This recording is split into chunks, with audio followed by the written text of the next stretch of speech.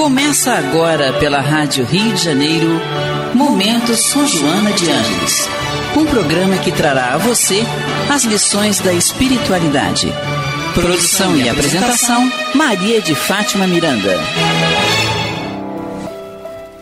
Amigos ouvintes da Rádio Rio de Janeiro, estamos retornando ao nosso encontro semanal para o estudo da obra O Homem Integral, da Joana de Ângeles, através do médio de Valdo Pereira Franco, na companhia dos amigos. Eduardo Araújo, muita paz a todos. Carlos Alberto Ferreira. Isso. Um abraço e muita paz a todos. Agradecidos a Jesus, né, pela semana, pelas lições, pelas oportunidades, pedindo por aqueles que enfrentaram situações que nós desconhecemos e que foram dolorosas nós vamos retomar o nosso estudo no capítulo 6, falando da maturidade psicológica, justamente no tema A Reconquista da Identidade, a partir do 19 parágrafo. Eduardo. Então vamos lá, dar continuidade ao nosso estudo. Diz Joana de Ângeles. Deste modo, o indivíduo tem o dever de enfrentar-se de descobrir qual é a sua identidade e, acima de tudo, aceitar-se. A aceitação faz parte do amadurecimento íntimo, no qual os inestimáveis bens da vida assomam a consciência que passa a utilizá-los com sabedoria, engrandecendo-se na razão direta que os multiplica é, já vale a pena aqui a gente parar porque essa questão da aceitação é, é uma questão aí fundamental para todos nós que estamos em busca dessa maturidade psicológica conforme o tópico que estamos estudando aqui com Joana de Ângeles.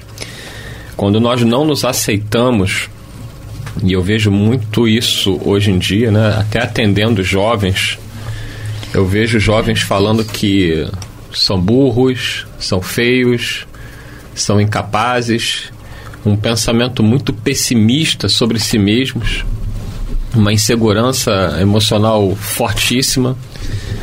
E isso tem levado muitos jovens também a processos de depressão, busca pelas drogas, lícitas ou ilícitas, e tudo isso em decorrência dessa baixa estima que está associada a essa não aceitação de si mesmo.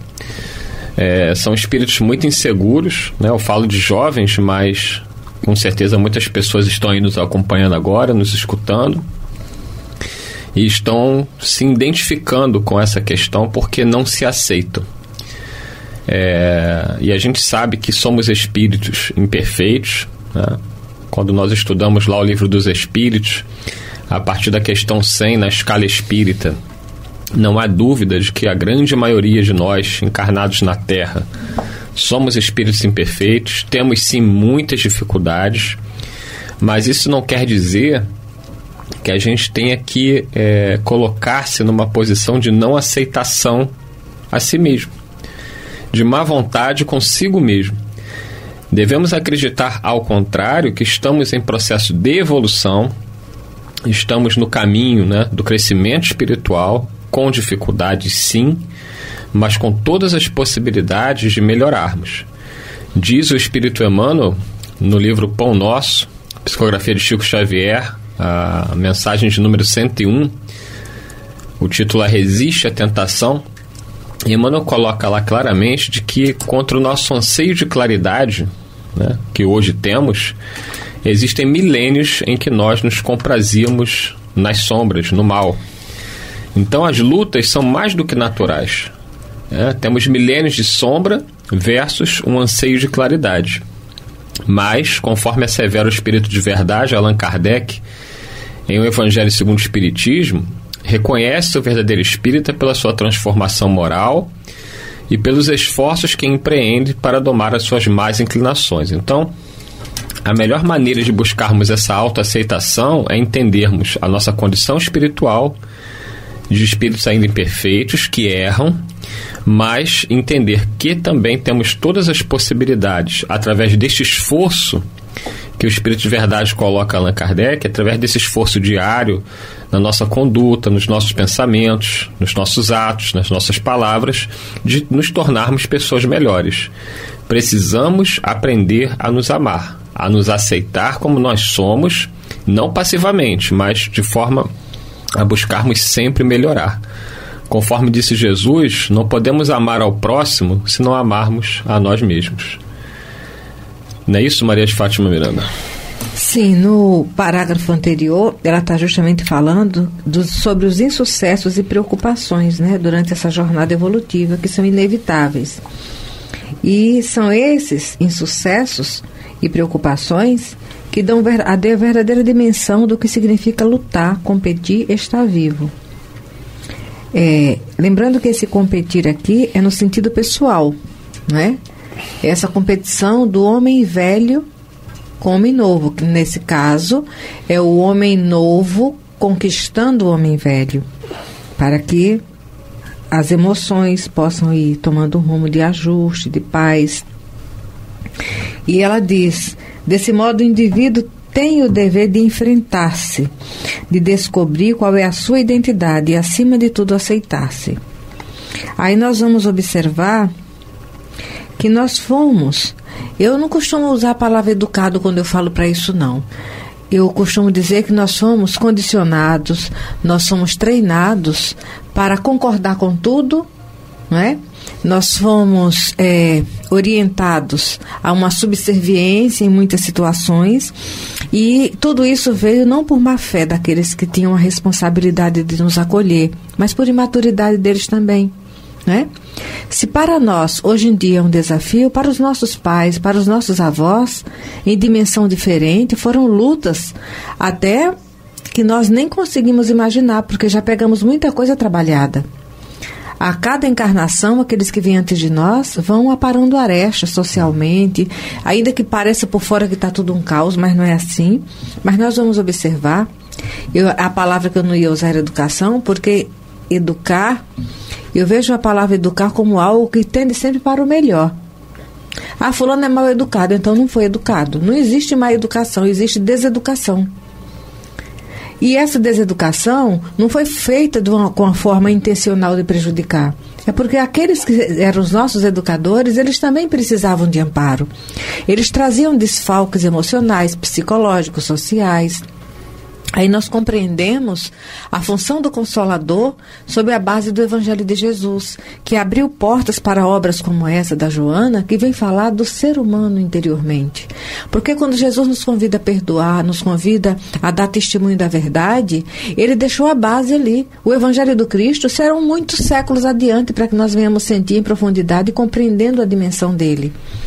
Ele é a base elementar da evolução do homem na Terra. Então vieram obras como essa nos, nos convidar esse autoconhecimento. E é interessante, porque 400 anos antes do Cristo, aproximadamente, Sócrates na Grécia já refletia aquelas palavras no oráculo de Delfos. Homem conhece a ti mesmo, que a palavra não é de Sócrates. A palavra está no oráculo de Delfos. Ela tem uma complementação, inclusive não é? E Jesus, eh, Sócrates, precursor do cristianismo do espiritismo, Jesus vem e traz a lei de amor, porque essa lei de amor é fundamental para essa aceitação. E nós passamos a viver o Evangelho de Jesus achando que a lei de amor do Cristo é uma pílula que a gente ia tomar ou uma formatação que alguém ia nos impor e já ia sair amando, e não é. Aí vem o Consolador nos falando do ser espiritual que nós somos, reformulando nossos valores no ajuste do bem. Então, o pai que tem compreensão da doutrina espírita, ele hoje agasalha o filho no colo, no seio doméstico, na família, no lar, buscando recursos de dignidade humana, a, a, a moradia, a escola, a saúde, o lazer, preparando ele para a dignidade do trabalho mais tarde, mas ele já tem uma compreensão, pelo menos é o que nós idealizamos, que o pai que os pais que compreendem espiritismo já têm essa ideação de que o filho veio até ele para ser trabalhado e amparado e orientado para vencer o mundo. E aí nós compreendemos Jesus. No mundo passareis por tribulações, mas tem de bom ânimo, eu venci o mundo. Olha só, o governador do planeta vem à Terra, veste um corpo de carne e escolhe uma realidade social onde todos pensavam que o Messias viria num lar, num lar abastado, né, no movimento judaico, e ele vem filho de um artesão, de uma tecelã, porque Maria trabalhava no tear e era uma doméstica, era dona de casa. E era ela que estudava com ele a Torá, Aí nós vamos observar a maior lição mostrando que os pais têm que buscar cada vez mais a dignidade do bem-estar social. Isso também é dignidade humana. Agora tem que saber que o filho veio não para vencer no mundo, não é? E ingenuamente nós encontramos aquela mãe, tipo assim, eu lembro que há muito tempo num estudo com Raul Teixeira, ele fazendo abordagens assim, no humildade e amor. Ele dizendo, às vezes, o, quando a mãe sabe que está grávida, aí vai ver a outra, doutora, tá tudo direitinho, tá tudo no lugar, já fica feliz, o ser é perfeito. Mas se precisar de uma lição, vai levar um tombo e vai ficar paralítico numa certa altura da vida, se for a necessidade daquele ser. Mas aí vem a primeira vitória. Ah, tá bem formadinho, tá tudo ok. O bebê nasce, tá tudo bonitinho. Aí ela quer que ele seja o mais fortinho. E é natural, porque isso é cuidado. Não é? E ela fica apresentando o troféu dela, porque para uma mãe, um filho é um troféu, é algo que, que fala das entranhas dela, que fala do ideal pessoal dela também. Mas quando nós somos cristãos, não podemos esquecer que mesmo saindo, o corpinho saindo das entranhas dos pais, ali é um espírito que não procede do espírito dos pais. E que tem uma proposta de, ser, de serviço ao pai. Jesus nos dá essa lição na infância. Aos 12 anos, Maria procurando meu filho. Ah, mas eu estava cuidando das coisas de meu pai. E aí nós vamos observar que a criança vai para a escola e a mãe quer ver as notas. Ah, ela quer que ele estude. E de preferência que ele tire boas notas. Se for possível, que seja o primeiro da sala, né? E é inconsciente que ela vai idealizando para ele os primeiros lugares do mundo. É que nem Salomé pedindo a Jesus para colocar João e Tiago, um no lado direito, outro no lado esquerdo. Isso não está errado. Mas hoje, quando a gente começa a ver a realidade que nós vivemos, uma sociedade caótica com tantos recursos materiais, nós não viemos aqui para vencer no mundo. Vencer no mundo é natural processo de um estágio de maturidade, de estudo, de esforço que os pais devem incentivar. Não é? Mas sabendo que o filho dele veio para vivenciar lições do mundo, dando exemplos de dignidade daquele a quem nós devemos servir. Foi o que nos lembramos aqui enquanto estávamos falando que essa falta de aceitação ela já fica mais complicada porque foram vários condicionamentos, você buscando por fora. Então você não se percebe. Quando você tem que parar para olhar internamente, aí fica muito complicado. É. Eu tô, tô aqui lembrando daquela passagem de Jesus, quando ele fala assim, quiser me seguir, negue-se a si mesmo. E a gente fica pensando essa questão do negar-se a si mesmo, né? E aqui a gente vai ver né, ela dizendo para nós que, é, deste modo, o indivíduo tem o dever de enfrentar-se ao negar-se a si mesmo. Né? Enfrentar-se, descobrir qual é a sua identidade, acima de tudo, aceitar-se. Só que a aceitação, no sentido aqui que Joana Dias fala, é você aceitar né, é, o que você realmente é, né, as suas dificuldades nesse sentido, por isso que ela vai falar em amadurecimento, né? Porque a gente, quando amadurece, é quando nós vamos ter a, a devida compreensão sobre essas questões que são ainda uns problemas nossos para serem resolvidos. Entendeu?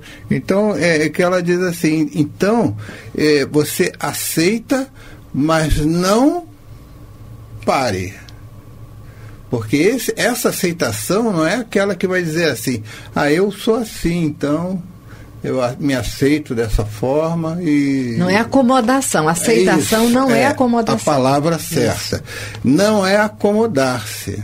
É aceitar e aí você vai pelo dinamismo da lei, do próprio, da lei de progresso, você vai empreender esforços de melhoria. Tá? Esse é o verdadeiro sentido. Então, a partir do momento. Porque a gente fala muito em conhecimento de si mesmo, mas conhecimento é muito difícil. Não é fácil, não. Conhecer a si mesmo. A lupa, ajustar a lupa, não é fácil, não. É, que, é, que eu, eu, me lembro uma vez até o, um companheiro né, que fazia uma palestra, ele dizia assim, é, conselho é, é, mais fácil você dar um conselho porque você dá para o outro fazer. Então é, é, fácil. Agora, conhecer a si mesmo, isso aí não é fácil. Se não. identificar, se perceber, não é? É. Você identificar, né? Teu, esses processos difíceis que você carrega. E aí eu vou lembrando, quando Jesus fala assim, ó, você quer me seguir?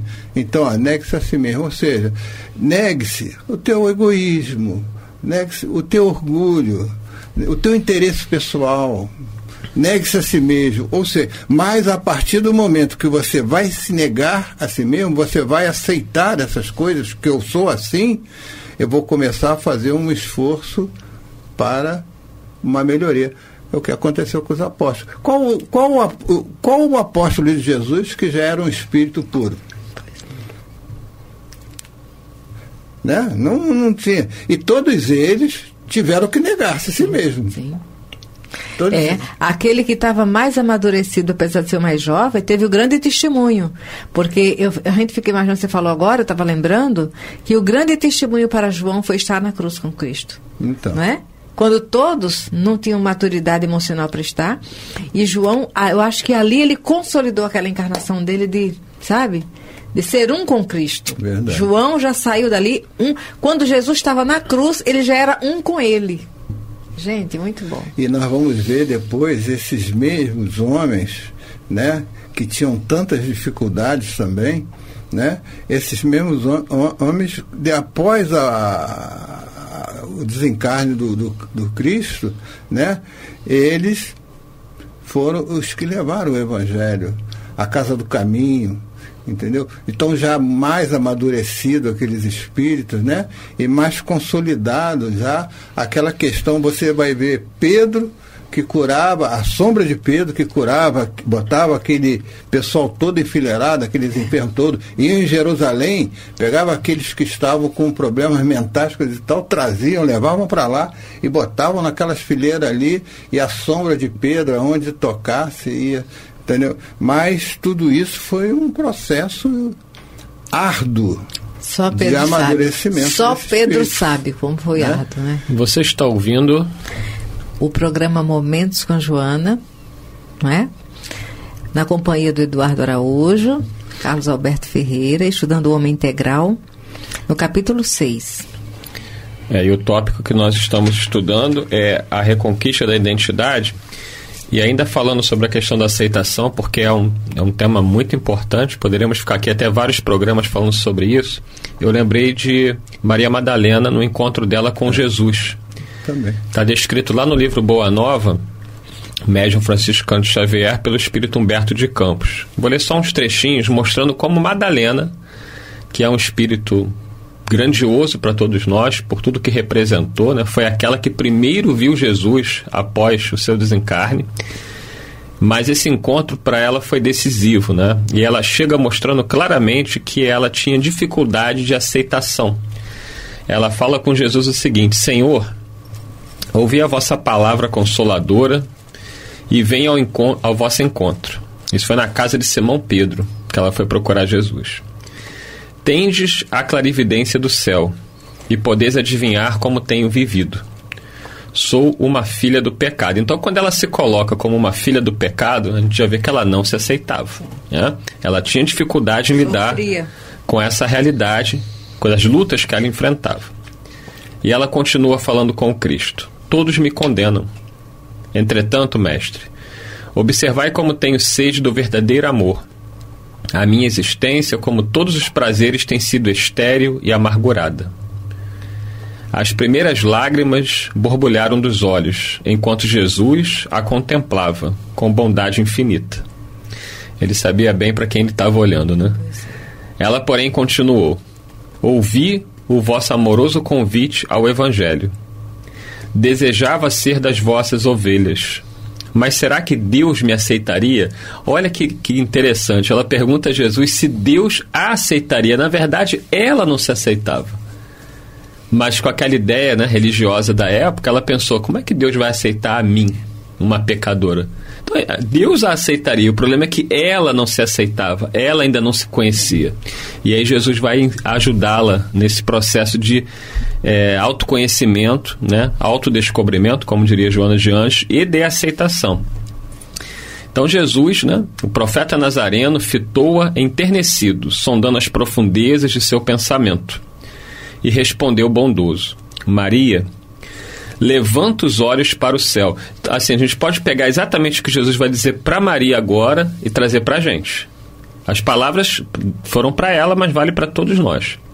Maria, levanta os olhos para o céu e regozija-te no caminho, porque escutaste a boa nova do reino e Deus te abençoa as alegrias. Acaso poderias pensar que alguém no mundo estivesse condenado ao pecado eterno? Onde é então o amor de nosso Pai? E ele vai fazer uma comparação agora muito interessante é, sobre nós seres humanos. Ele fala: Nunca viste a primavera dar flores sobre uma casa em ruínas? As ruínas são as criaturas humanas, porém as flores são as esperanças em Deus. Quer dizer, somos uma casa em ruína, mas mesmo nessa casa em ruína nascem flores. A ânsia de ser feliz. É. É, e continua Jesus conversando com Madalena. Sobre todas as falências e desventuras próprias do homem, as bênçãos paternais de Deus descem e chamam. Sentes hoje esse novo sol a iluminar-te, o destino. Caminha agora sob a sua luz, porque o amor cobre a multidão de pecados. Poderia ficar lendo aqui, porque é, é simplesmente maravilhoso, mas eu acho que Recomendo aí que vocês procurem o livro Boa Nova, do médium Francisco Canto Xavier, e ah, lá o capítulo sobre Maria Madalena. Né? Vocês podem, inclusive, conseguir isso na internet mesmo. Sim, sim. Mas tá aí, nem Madalena se aceitava, Carlos Alberto. E você, você viu uma coisa interessante? Às vezes o dia está lindo, um sol, um céu de brigadeiro, as árvores verdinhas, né? aquela beleza de você respirar.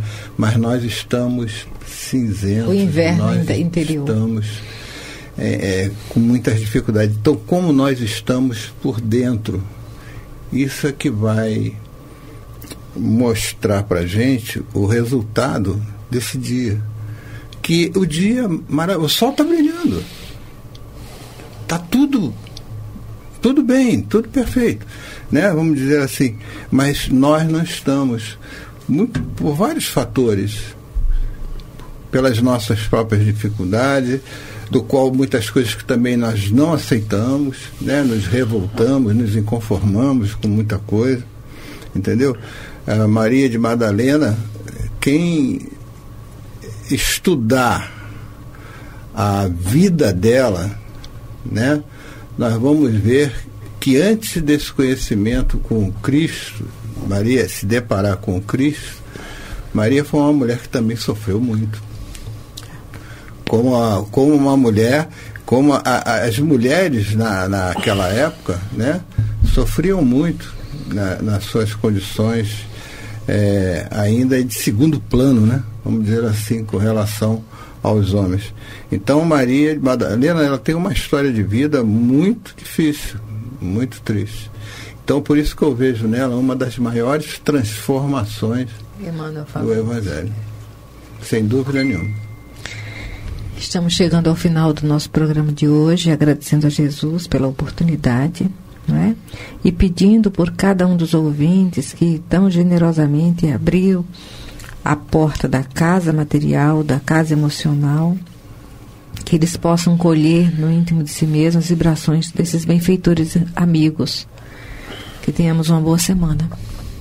Muita paz a todos, possamos refletir sobre tudo que conversamos aqui, possamos estar abertos a esse processo de autoaceitação, de compreender que precisamos nos esforçar, confiar em Jesus, não faltará ajuda para que a gente se transforme aí em pessoas melhores. Esse é o grande objetivo da nossa encarnação. Muita paz a todos. Muita paz. A Rádio Rio de Janeiro apresentou Momentos com Joana de Ângeles um encontro com as lições da espiritualidade. Produção e apresentação: Maria de Fátima Miranda.